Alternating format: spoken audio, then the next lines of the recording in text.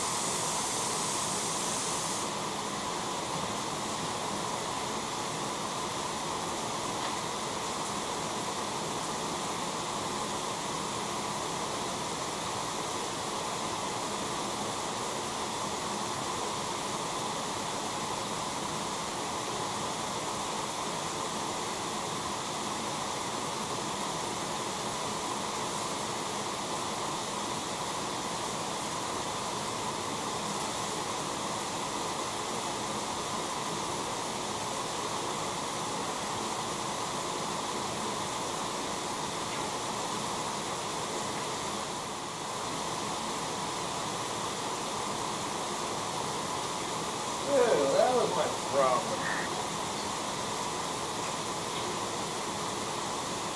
Anyway, guys, I was fighting with it. Uh, using K2 brew, and it wasn't coming out, so I threw the hydrovator on it and see that there, nice and clean. Did really, really good. I didn't know what the hell I was doing wrong, and some of these films you just gotta you gotta play around with them and find out what's working for it. Um, if it's not working, switch up one thing. This one here, I same soak time, same everything. I just changed my activator and boom, it went off. So uh, now I've got it under control. Hopefully. This is Dave with Tsunami Hydrographics. We're out.